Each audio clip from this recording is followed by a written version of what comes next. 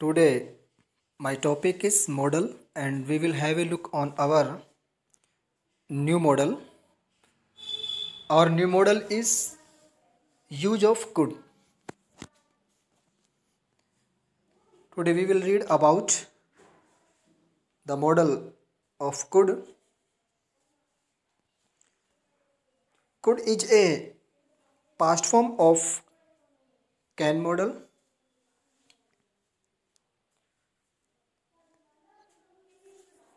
it is past form.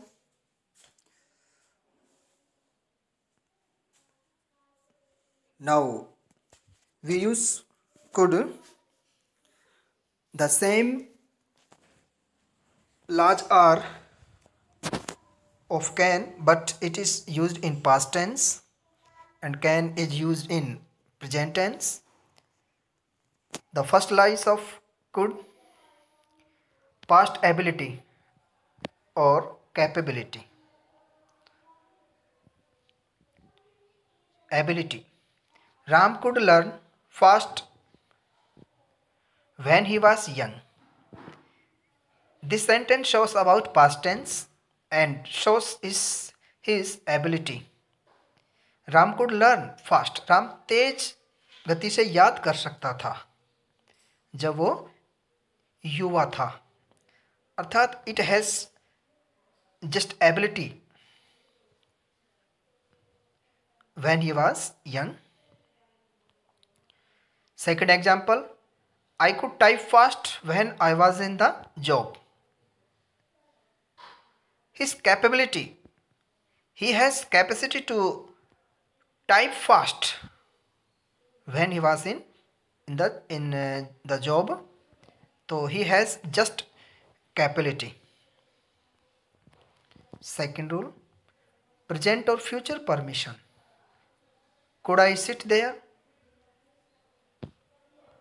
means present or future permission for permission could i use it tomorrow it shows future permission but could i sit there this shows present permission number third present possibility theoretical या factual present possibility the road could be blocked could be blocked present possibility there is some reason for blocking so we can say the road could be blocked he could join the night party number fourth occasional possibility यदा कदा संभावना occasional यदा कदा he could be very rough occasionally he could be very rough not forever occasionally ram could be very crazy seeing mohit number fifth general permission means past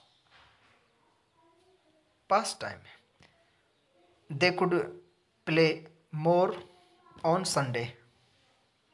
Those days. General possibility.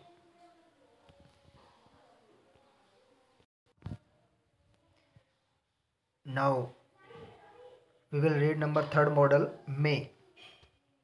Usage may it is used in present tense. First use of it formal permission it is used formal permission in present time. May i come in sir? You may pick this pen up.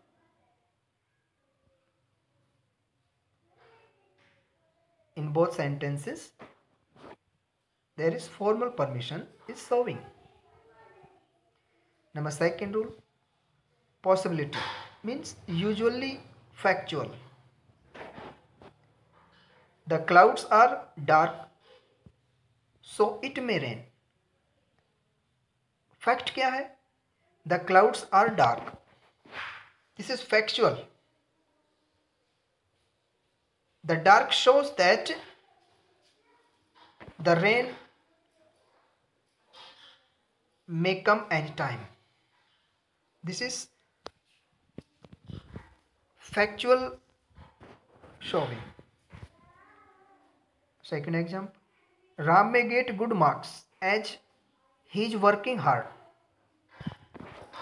He is working hard. This shows that ram may get good marks.